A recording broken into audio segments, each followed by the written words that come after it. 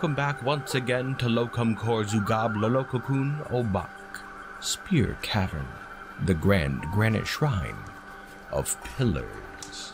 At this particular moment, the fortress is looking just fine. We are still working our way through our very first year here, but things are fairly settled for the moment. We have a decent little work area up here on the surface, stockpiles, trade depot, and our fortress below is all dug out as well. We have kitchens, stills, a meeting hall, food stockpiles, bedrooms, a nice little coiling trap hall over here, filled with cage traps, and below that we have a hospital, offices, a barracks, and some more storage even, so we are looking pretty darn good.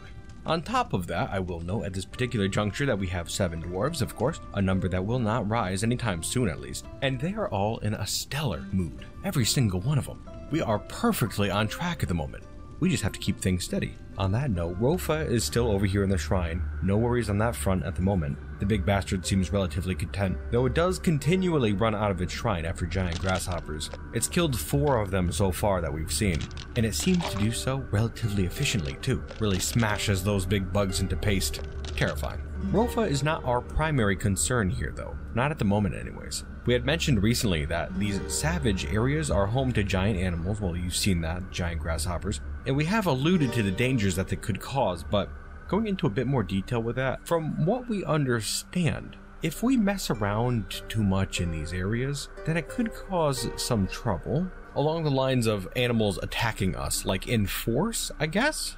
I'm not too sure. All I'm saying is that if a horde of giant grasshoppers tries to rush into our fortress and devour our dwarves, I'm not going to be too happy about it. I think that'd put a serious damper on our dwarves' moods, actually. We'll have to prepare ourselves. And speaking of giant pain in the ass animals, it looks like a giant buzzard just swooped in and stole some of our food, some prepared giant louse brain. We had just got there from the traders too. Well, that's a damn pity. Just took it right out of our trade depot, I assume. We're gonna have to get that stuff stored away. Though you know, it does make me wonder if we can bait some animals into traps using food like that. Gonna have to put that to the test. These giant buzzards might be a good animal to get our hands on at some point. Any of these giant animals would be great if we can get some and then start up a breeding colony. These giant buzzards, for example, are three times larger than a dwarf, and I am certain that they would give us a lot of meat if we can get our hands on one. Even beyond just breeding the things, if we took one down, man, that could keep us fed for a while. Yeah, we'll have to see what we could do with these bastards. I'm telling you, if you can look past the murk and the sludge and the terrible stink, the Swamp of Brightness seems to have a lot of benefits. We just gotta learn how to put them to use. And on that note, if we have a look downwards underneath the sludge, we can see that the dwarves are putting things to use. Pop over here is digging a nice tunnel, just straight through the stone. But a tunnel to where, you might be asking? Well, it's of course leading to our new home, Spear Cavern proper. It's all planned out now. And doesn't that look nice? I think it's a fine size for a small dwarven clan like ours. It's certainly going to give us enough space. Now let me just explain the layout here. In the middle, you can see a large, large area, and the roof above is being held up by these six pillars. I don't know what we're going to do in there. Probably a meeting hall, but I'm not sure. And then all around the sides there, you can see seven small chambers. I say small, they're actually not small at all. They're quite large. Seven large chambers, and each of those large chambers has another chamber inside. And that smaller chamber is going to be a dwarf's house, while the surrounding chamber is kind of like their, you know, their little personal property, I guess. Little place for a workshop or something like that. And then if you look around the outside there, you can see that little tunnel. Just kind of going to be like a emergency tunnel. It connects up all the bedrooms from the back. It's like a little secret corridor, you know? I don't like the idea of having dwarves locked up in their houses if something goes down up on the surface, you know? Gotta have a way to move around. Uh, anyways, if we look upwards, just one space here, you can see that central meeting area. It extends upwards. We don't want a short little chamber. It's got to be glorious, right? It's got to have that good dwarven energy. There's plenty of space below ground. It might as well stretch out, right? And then if you ever look around the outside there, you can see those dwarven side chambers go up as well. Both the chamber itself and the dwarves' houses. That's going to give the dwarves a ton of space to move around in really stretch out, give us some options in the future for, you know, if we want to do something else in there. And you can see that little bent tunnel that leads out the back of each of their bedrooms that leads down to the surrounding tunnel there. And actually, if we look up one more time, we can see the top level of that center chamber. It goes up three levels. It's going to be a titanic undertaking, but we have time. Our fortress is looking good right now, so we can just take all the time in the world just to carve this thing out. And just as a further note, moving back down to the bottom here, you can see this blue coloration. That's because it's just a blueprint, right? We're not going to carve that out just yet. The thing we're going to focus on first is that gray tunnel up to the north. We're going to dig that in, and at the end of it, there's a stairway that leads up to the very top of this central corridor. This is where we're going to start. Get it all carved out from the top down. It's going to be a spectacle, I'm telling you that much. Spear Cavern is going to be a fortress of legend. But we still have a ways to go on that front, of course. And as such, let us direct our attention back up here to Stepping Stone Fortress number 2, where we can see our dogs in the meeting hall. Our original dogs, plus a new litter here. Our breeding program's getting off on the right foot already, and there's this one notable puppy here. We've dubbed her the Sky Dog because of her beautiful aqua eyes, and she looks to be very sturdy for a pup even. Only a few weeks old now, but still that muscle coverage. It's impressive. She's definitely the most promising specimen, and I think we're going to set her aside for now. We don't really know what we're doing with this whole dog breeding thing when you get down to it, but I think with a little sky dog here, we're off on the right foot at least. We should make an area for the dogs, shouldn't we? A kennel. That'd be a good idea, yeah. And we'll do it up here in our first stepping stone fortress. Might as well, it's just sitting there. There you go, pups. We'll check back in in a bit. Gotta have them outside to go to bathroom and run every once in a while. Can't just keep them cooped up. But they'll be safe enough for now. And as for other projects we have going on at this particular moment, we have a couple workshops going smelting down iron, and we're still in search of more flux so we can make more steel. We know there's dolomite around here though, so it's not going to be a problem. And of course, we're making charcoal as well from wood. We're chopping down an awful lot of trees. If we have a look down here underground, you can see our food stockpiles are looking great. We had Boggy turning all of our ingredients into meals, and so we're well stocked right now in prepared meals and drinks too. Not a problem. Everyone seems to be appreciating it, especially Wisp been going a little hard on the whipped whipvine dumplings lately. I mean, who could blame her? They're delicious. And it's good too. A little bit of extra padding, you know? It gives you some more armor in combat. We should all be overindulging. It just makes sense. And then down here below in our barracks, office, hospital, you can see we have some new workshops in as well, kind of really cluttering the place up, making it a bit smoky even. But it's just handy to have them down here. We're cutting up gems, making some stone blocks, and we have this other smelter here making even more iron bars from limonite, hematite, and magnetite all of which we have access to here. I'm telling you, this place is loaded with resources. Ah, but that's enough big talk for now. What about our dwarves? How are we feeling, dwarves? Well, there really isn't that much to report on at this particular moment. Only so much can change in eight and a half months after all. One thing I will note, however, is our outpost liaison over here. We haven't mentioned much about him, but the guy's been hanging around ever since we traded with those merchants. The merchants have left, of course, but he has not. Not yet. His name is Sodal, and we're going to be seeing him every year, so we have to get used to his face at least. Uh, assuming he doesn't get killed out here. Not too sure what he's doing exactly, but he doesn't appear to like going into our fortress, and instead seems to be opting for just sitting in this little nook right here. Uh, really not a bad little spot. It's just kind of next to our trade depot and our workshops and stockpiles and stuff. Just kind of tucked down there. There's been a couple times where he was scared off by giant buzzards and went running away, but he returns to this spot right here. I, I, again, I'm not sure why he likes it here, but well, I guess it's his prerogative. Just enjoying the scenery, perhaps. Maybe he's as mystified by this whole area as we are. It would make sense. Just again, hoping he doesn't get killed out here. It can be pretty dangerous in the Swamp of Brightness. Anywho, Sodal, take care of yourself. He should move off pretty soon, I'm thinking. Back inside the fortress here, down on the lower level, we could see Queen Bee and the Crab working away at a couple of workshops in here. Queen Bee is cutting some gems right now, some rough prase opals just freshly dug up by Pop down below. This is a new thing for Bee. She hasn't cut gems before, and we've kind of had the dwarves in and out, rotating, just uh, taking turns cutting gems because nobody really knows how to do it very well. And our hope in doing it this way is that all of our dwarves will kind of gain skills slowly over time. At some point, we'll have enough respectable gem cutters here, but we're not too too concerned about it right now. Same goes for the crab at smelting. Back in the mountain home, we had other dwarves who would smelt down metal or make charcoal, while the crab here would focus on making armor solely. So yeah, this is a new thing for him too. Both these dwarves are doing very well. Just a very happy couple. Remember, they are involved with one another, and seemingly they don't have any problems with everyone knowing it all the time. Public displays of affection get kind of tiresome, but, well, at least they're happy. We haven't noted it yet, but Queen Bee is our bookkeeper here in the fortress, with just a tiny little office down here on the side, and the Crab is our manager. They both have very good heads on their shoulders, and either of them would make for a great leader, I think. A leader of a typical fortress, that is. All the managing of daily duties and whatnot. Of course, a fortress like this one here, Spear Cavern, can only be led by one dwarf. Tinny, of course.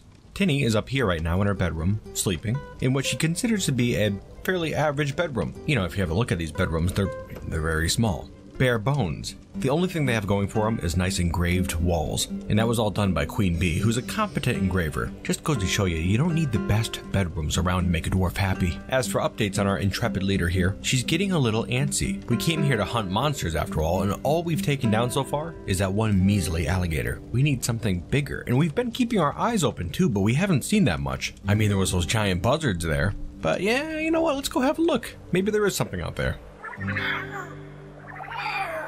No, not really. We have some giant sparrows, but it'd be very difficult to get any sort of flying creature down. I was really kind of hoping to see more land based creatures, you know? I don't know that we could ever get our hands on a giant sparrow. Of course, who really knows? Maybe with a touch of ingenuity, we can come up with something. You know what, though, actually? Um, what I am thinking is maybe we can head down underground farther. At this point, I'm going under the assumption we're not going to hit the caverns below when we're digging out our new fortress. Really hoping, anyways. And that being the case, maybe we should do some digging around. We're not going to find many flying creatures in the caves below. There would be plenty of cool things to fight down there. Where are the opponents? Hmm. Yeah, we should make that a top priority, shouldn't we? Not all this fancy fort digging, eh? Yes, I do like that. Uh, you'll note here, by the way, the dwarves smoothing the floors and walls in our new fortress. This tunnel right here has been carved out entirely by Pop, and we figured while she clears out the stone, we could just get to work smoothing out the surfaces. There's going to be an awful lot of that going on, and the sooner we get to it, the better. Pop has now worked her way up to the top, the third level of that central chamber, and she's just kind of clearing away the northern side of it at the moment. She's doing a pretty okay job. She's not the best miner in the world, really, but she's going to get a lot of skill from this. One thing I am a bit concerned about when it comes to Pop here is the fact that she really does not like hard work. And I mean, you could say what you want. You're a dwarf, you're supposed to like hard work, that sort of stuff, but it's not going to change the fact that this particular dwarf, our only miner who has a lot on her plate, doesn't really like working that much. And we do care about her. She's not griping yet. She's taking it like a champ, actually, but we do get concerned. It is a pretty tall order we've placed on her shoulders. Maybe after she gets that first layer carved out, she could take a nice long break. And hopefully at that point she can mine faster too, so she can carve out more and more between breaks. Alternatively, we can have all seven of our dwarves start carving away too. We do have enough picks for everyone. That might be a good idea actually. But for now, everyone has a lot on their plates, so I think this is how we'll keep it for just the time being. Hang in there, Pop. It'll be worth it, trust me. Still, maybe we'll have a little break and start carving out that downwards tunnel. It would be nice to get down into those caves, and maybe once we find them, Pop could do something else for a little while. Yeah, that sounds good. Good luck, Pop. And while we get that tunnel carved out, we're gonna come up here and smooth out these walls and the pillars. That's how we're gonna do it. Carve out the stone in the top layer of this chamber, then smooth down all the walls, and then go down another level. Smooth out the walls, and then another level. So on and so forth. It's the most straightforward way. But that's not all we have to do. Actually, just realized we should probably make some preparations before we get access to those dangerous caves below. Some more cage traps are in order, I think. Don't want to have too many disruptions while we're trying to work, you know? If we get some defenses up, at least we can work in peace. Of course, those caves do tend to sneak up on you sometimes, as we can see right here. It looks like we've already actually discovered the caverns. Without having any defenses in place, that's great. well, at least these dwarves are handy with spears, right? Hmm, yes. Looks like a fairly standard cavern layout. Yeah, not a bad one. Plenty of space to stretch out in. We're gonna have to get those cages made so we can get out there safely. Shouldn't take too long. Actually getting incredibly eager now. This is gonna be great. Who's ready for action, dwarves? Rather, first we're gonna get to work making some mechanisms for those cage traps. We have none in reserve. It would be nice to have a stockpile of them around. And let's see here. Pop is carving out this tunnel. It's gonna be a long one. We're gonna need a place to put those traps. So the longer, the better, really. Having a bit of a closer look at the caverns here, seeing some interesting stuff out there. Like we have a lot of olivine. Don't usually find that much of it. Might be able to put it to use in some sort of a strange construction or something. Got a lot of potential, I think. In addition, we also have some gem clusters about, some particularly valuable ones as well. Over here we have a whole bunch of diamond. Red diamond, yellow diamond, green diamond, all in this little cluster right here. That is interesting. We had heard that they discovered one of these maybe a decade ago or so in the capital. Carved it open and it was filled with magma. That's his story, anyways. We'll have to be careful, but I'm sure it's to work out just fine. Yeah, looks to be a few clusters like that. Very interesting. Looks like we've stumbled upon a real treasure trove here, dwarves.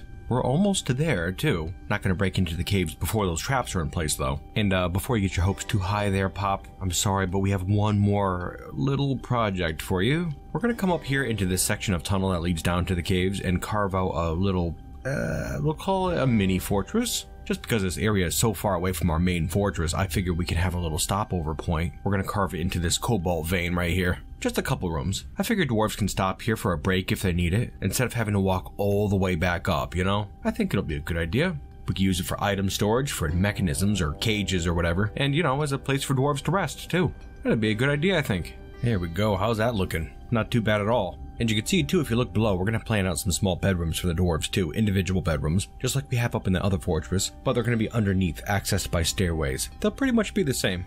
I don't really know what dwarves will think about having multiple bedrooms. I mean, it couldn't be bad, right? Who could have a problem with having multiple places to live? This could only be good. Yeah, it's coming right together, and I think we're gonna dub this place the Cobalt Room. Not that it's made of cobalt, but the entrance is, kind of. And there you can see it's all carved out too. Once we have our main fortress done, I don't think it's gonna be quite as necessary as it is now, but I think this place would hold up pretty darn well as just a little side tavern. You know, the dwarves can just go in and hang out, away from the hustle and bustle of the fortress. It's never gonna have hustle and bustle, what am I talking about? Seven dwarves. I don't know, we'll do something with it. Maybe we'll open up our fortress to outsiders at some point. That seems dangerous and stupid, but well, we're gonna have a fortress of tough dwarves, aren't we? Might be an interesting little project. We'll see. Anywho, we're gonna zoom out a little bit here and look downwards down this tunnel right here, where we can see this cage trap tunnel. And it looks like all those traps are in place now. Excellent. So I think we're good to break into the caves. Let's get to it. Uh, in a moment, I guess. It looks like Pop right now is in our meeting hall, just kind of uh, struggling to socialize. It seems she's tired of digging. I guess I couldn't blame her. Uh, oh, but there she goes. Yep, she's off. And heading down. Okay, I'm glad she got that little bit of a break there. Not much, but this is going to be a quick project. You can have an actual break afterwards. How about? Okay, here we go. Cracking open those caves. We have access now. Careful, dwarves. Remain wary. Having one more glance out there, it doesn't look like there's much in the way of activity at this moment, which is just stellar. Um, Pop, I am sorry, I guess I lied. We're gonna have you come out right now and collect some gems and crack open a couple of these weird gem clusters too. I'm seeing more and more every time I peek out here. Like here's one right over here in the eastern caves. Look to be studded with star ruby. And I will note too that each of these clusters appears to be embedded into obsidian. Very strange. I'm hoping it's not magma in this thing. I don't think it should be. I mean, the stone is not warm. I guess that would be a dead giveaway. It's not wet either, so there's no water in there. It's probably just empty. Solid obsidian would be my guess. Or possibly more gems. But just in case there's magma inside this thing, we're gonna approach it from the top. Just so it can't come roiling out and melt pop. That would not be good.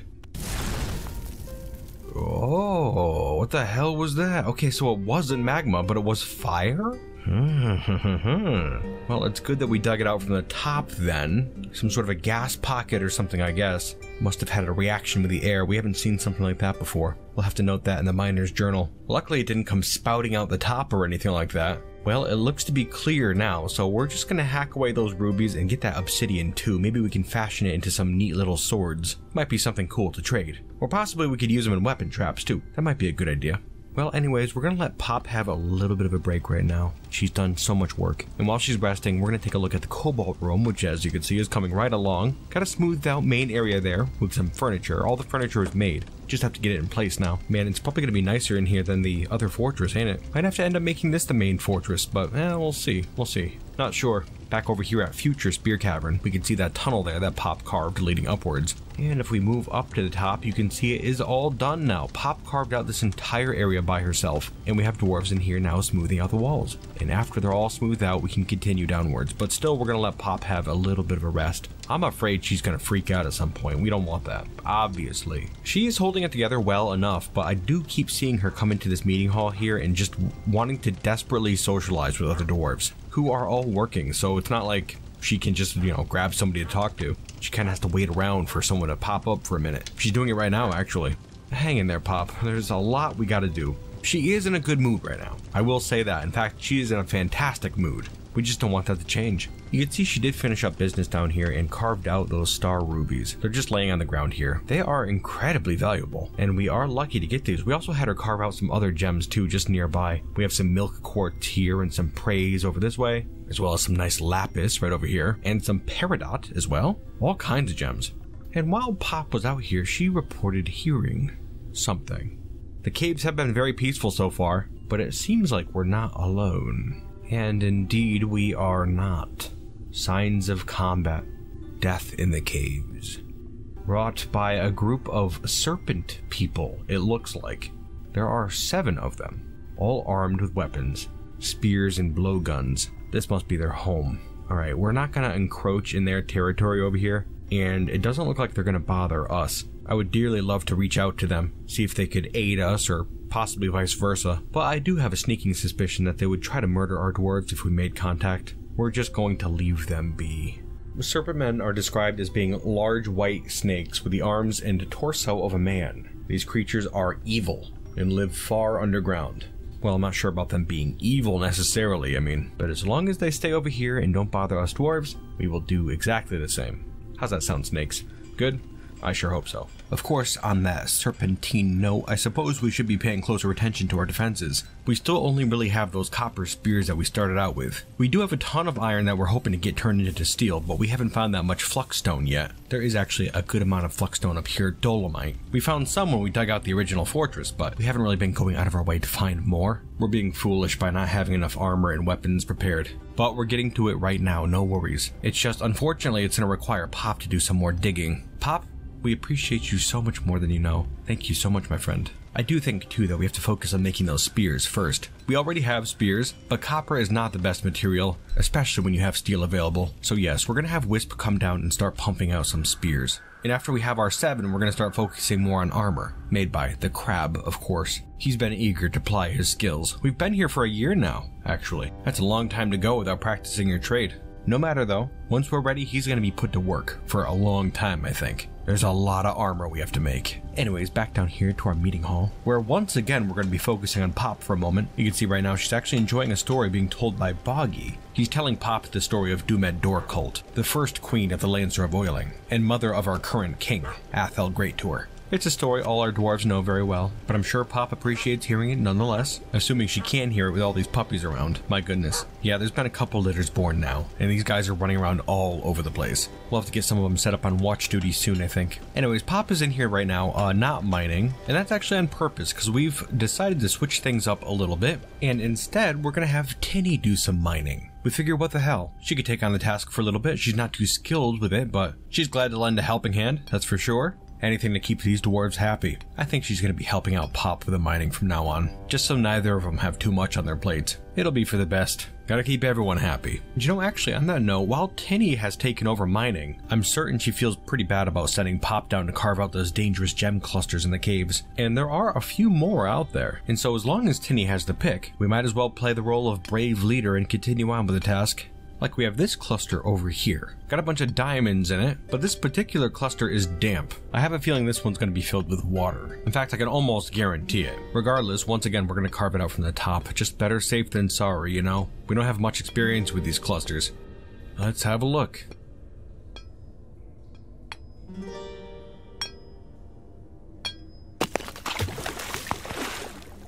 Yeah, sure enough, just a bunch of water. No big deal. Was kinda hoping to be some other surprise in there, but doesn't look to be the case. Just some boring water. Oh well.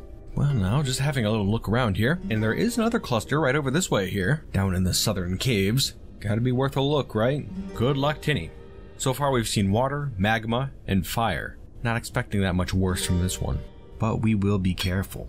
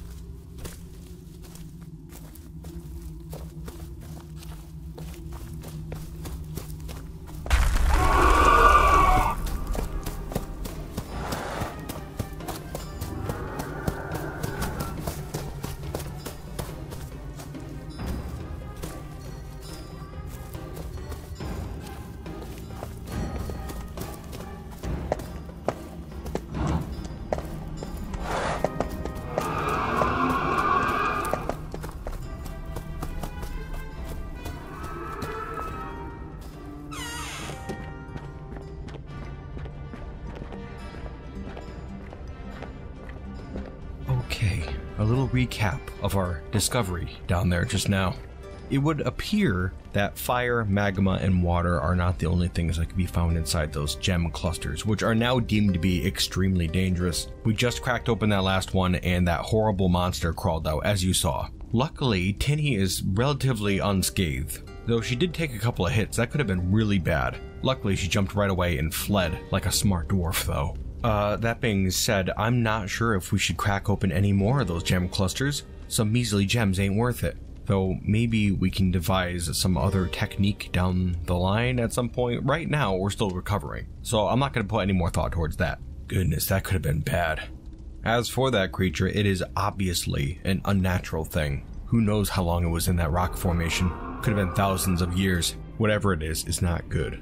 It is known as a clear devil, a very large, scaly horse twisted into humanoid form. It squirms and fidgets. Its clear scales are large and close set. Beware its poisonous bite. Oh, and there it goes, right into those poor snakes. Those guys don't stand a chance, do they? Not much of a chance, that is, although it looks like one of them got a good shot. Yeah, it looks like the demon must have been jabbed pretty badly and now no longer can use its legs. Well, that's fantastic for us. Not so good for the snakes. Honestly, though, they're doing better than I thought they would. They do have basic metal weaponry, but they are smaller than dwarves, don't have any armor, and their skill with their weaponry is probably not very good. You know, I, I do have a feeling after we get armed up that we might be able to finish off this horse, but for now, I think we're just gonna leave it out there. No sense in risking it quite yet. Those poor snakes, though. They didn't deserve to go out like that, and it was our fault too, I guess. Hmm. Not much could be done at this point. Right now, the dwarves are over here in the cobalt room trying to take a little rest, while Tinny goes over the horrors she just encountered out in the caves. That poor dwarf. We're all very happy she's doing well, especially Boggy. Yeah, actually, this is an incredibly rare encounter right here. Every single one of the Spear Cavern dwarves is relaxing right now. Just getting some food, having a drink, telling a story or two, trying to unwind a bit. And actually, if you have a look here, we have Sodell in here as well, our outpost liaison. This was the fellow who was strangely standing out in the swamp after the trade caravans left last year. I hadn't checked in on him for a little while, but last we saw, it was like six months after the trade caravans arrived last year that he was still here, just standing out in the forest. Very strange. Well, he's here now, just kind of going over reports, giving us news from the homeland. Hoping there's nothing too devastating this time. No, nothing more terrible than what we saw last year. The elves and goblins are still marching on our homeland, but seemingly have not made much progress, so that's good. I can almost guarantee they won't put a dent in us, just harassing us for no reason. They're probably bored. The rat bastards. Well, it's good it's not getting any worse over there, that's for sure. I suppose even if it were, though, we wouldn't be all too concerned. That's part of the reason we moved out here, after all, to get away from all that mess. Granted, we haven't done much in the way of legendary acts so far, but, you know, dwarfs gotta relax sometimes, too. And in service of that, we're gonna get an instrument down here into the cobalt room. We made a couple of instruments out of the bones of that alligator that we killed last year. And this large one over here is a well-crafted alligator bone vumam, a huge stationary percussion instrument. It consists of a bone bowl. And how it works is the uh, musician will shake the bowl, you know? Yeah, it's a bit of an odd one, but it's like a traditional thing. The vumam. And as a bit of an accompaniment to our vumam, down in this chest here we have an alligator bone vabak, which is a small handheld percussion instrument. It consists of a bone triangle that the musician strikes. They're both very simple, mostly for keeping a beat, you know. We have to get some more instruments in here if we're gonna play some actual music, though. Maybe at some point. Might be a good idea, huh? Actually, I think a much better idea would be to have a feast. Dwarves, we've done a fine job for our first year. We're coming right along in Spear Cavern's progress, and we still have a long way to go. But we're gonna get there. By Idrath's grace, we will. But yes, for now, we feast. This here is to be a good time, my dwarves.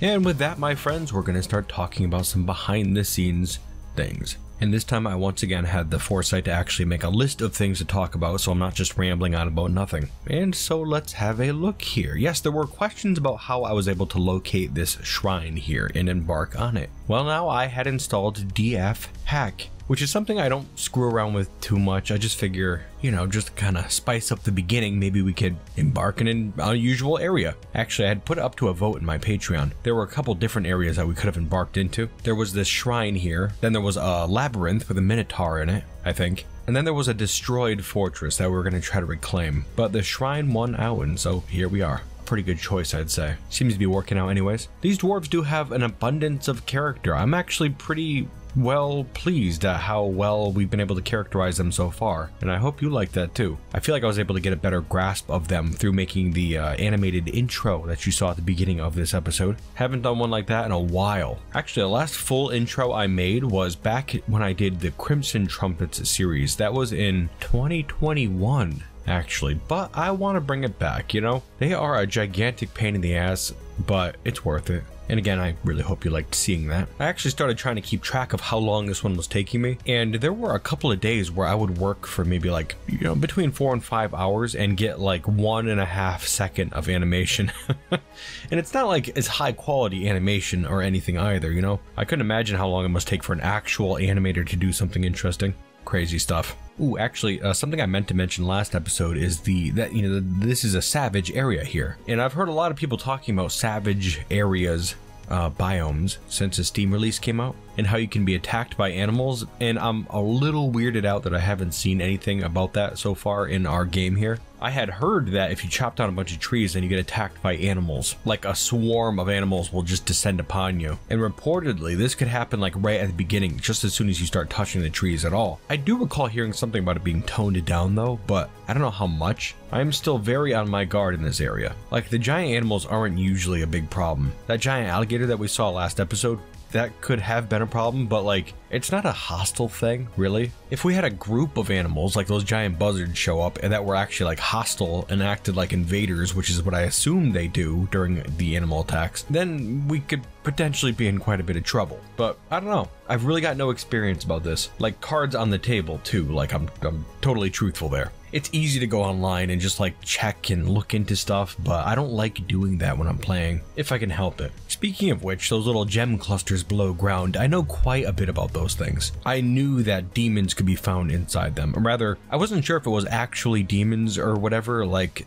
that's what some people online were saying, but you know, I take it with a grain of salt. I hadn't heard that fire could be found inside those clusters like we saw in this episode here. Luckily, carving down from the top seems to really make it ineffective. I'm not sure if it would act differently if we dug into it from the side, like if it would come bursting out like magma or something, I don't know, but I guess I'm glad we didn't find out. It seems like digging down from the top is the best way to handle any of those clusters, so far anyways, until I figure out something better. I was kind of wondering what it would be like if we dug up from underneath sometimes, you know? Might be an interesting test. Something I am thinking is that like, because the inside of those clusters is hollow, you could drop a rock plug onto them from above and it would like crush the middle of them, killing any demons or anything that would be in there. And then you'd be able to gain access to all those diamonds and star rubies or whatever, just no problem whatsoever. That being said, I do know there's other things that can be found inside those clusters too interesting items that I would dearly love to get my hands on.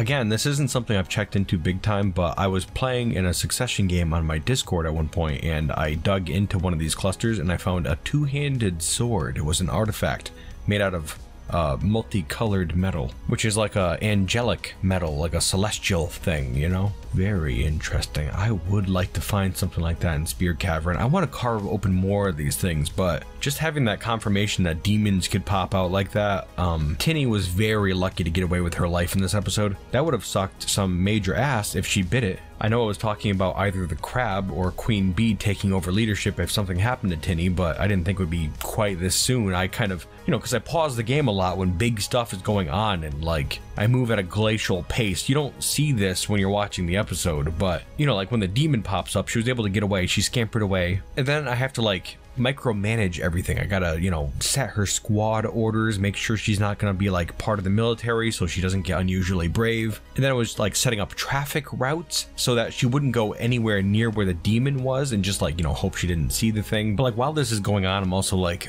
okay, Tinny's probably not gonna survive this thing. I'm trying to like get used to the idea that she's not gonna be alive for much longer in my mind. And like before she got back to the fortress, I'm like, okay, goodbye, Tinny. But she pulled through. Got very lucky. Micromanagement be praised. That being said, yeah, I don't know if I'm too too interested in carving open any more of these clusters just yet. For now, I'm actually pretty excited about this feast that we're gonna have. That should be a lot of fun. I love drawing the dwarven food. Hoping I get to do some more of that. Anyways, that's it for my list of things to mention, I suppose. And we are getting down there. So, my bearded bastards, I want to thank you genuinely for watching. I've gotten quite a few very kind sentiments recently, and I'm starting to realize how much these videos mean to some people. I don't know, just heartwarming, I guess. Thank you for watching, and I hope to see you next time here in Lokamkor Zugab Lolokokun Obak, Spearcavern, the grand granite shrine of pillars. And until then, you bearded bastards.